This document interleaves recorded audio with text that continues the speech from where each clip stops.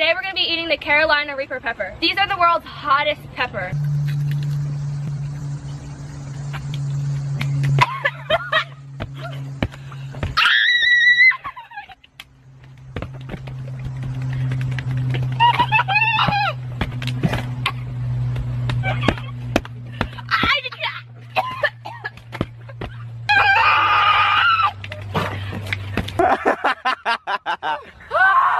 It's still burning? Mm-hmm. She's just sitting here drooling. Lay back. Holy shit. Lay back.